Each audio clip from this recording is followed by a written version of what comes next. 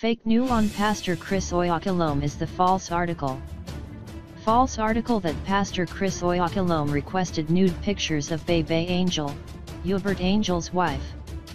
A Twitter account posted on Monday that the man of God Pastor Chris Oyakhilome requested nudes of Babe Angel who is the wife of senior prophet Hubert Angel without confirming if the allegations are true or false.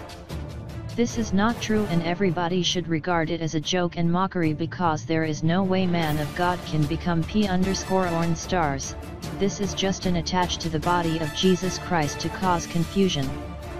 Thank you for your listening, please subscribe our channel for more hot news. Yeah.